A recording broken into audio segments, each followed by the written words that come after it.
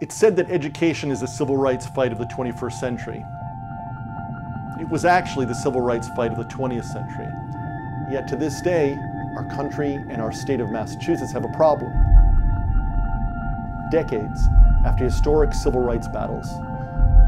Remember, 69 years ago, Jackie Robinson broke the baseball color line. 68 years ago, Truman issued an executive order desegregating the military. 62 years ago, in the landmark Brown versus Board of Education of Topeka, Kansas case, the U.S. Supreme Court declared that segregating blacks in lower quality schools was unconstitutional. 61 years ago, in Alabama, Rosa Parks refused to give up her seat.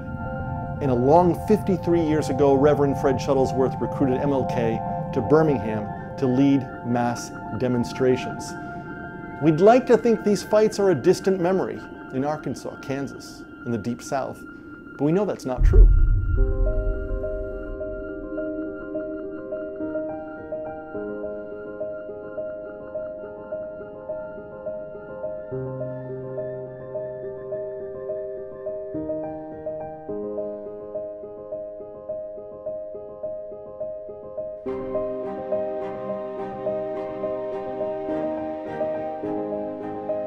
I think the battle over school choice and educational options began when Chief Justice of the United States Supreme Court Earl Warren announced the unanimous opinion of the United States Supreme Court in the five consolidated cases of Brown v. Board of Education. Now, there's a direct correlation, I believe, between Brown v. Board and charter schools.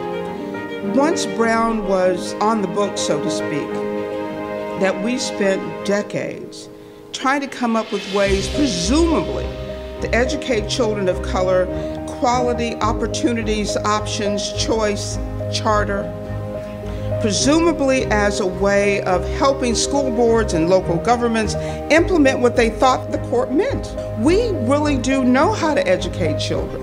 It is not rocket science. But the one thing it requires the most is something our nation has yet to make happen.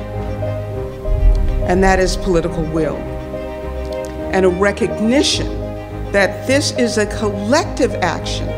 That if we have children who are failing, who are not achieving, who are not successful, we all pay the price for that. It is not us and them, it is only us. So let's not suggest that there's something so terribly wrong about another type of public schooling that has been proven to be successful, particularly here in Boston.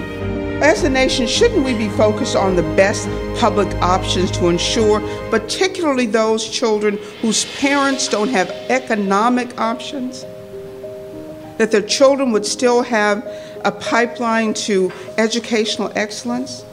Because this is a country that has to belong to all of us.